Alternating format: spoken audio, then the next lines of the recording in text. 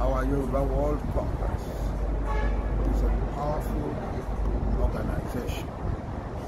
In only one year, in fact, in less than one year, in less than one year, we have expanded to cover all local governments of Yoruba land.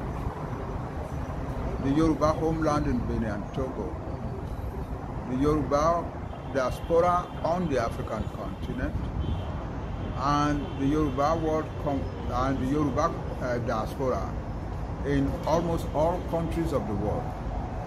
As I speak now today, in September, in the middle of September 2020, we have more than a hundred Yoruba World Congress chapters located in many diaspora communities around the world. We have held out a great deal of hope for our people. And we want to assure our people that we will always hold up that hope. We have set out to seek liberation for our nation. And by the grace of God, we will achieve that liberation. We, we have had some uh, rumbling in the family, but that's natural of families.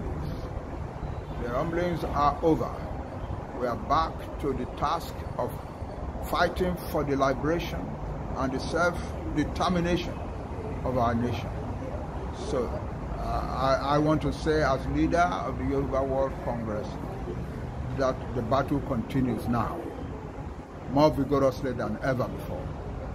We thank all our Yoruba people everywhere for supporting us as they have done. Thank you very much.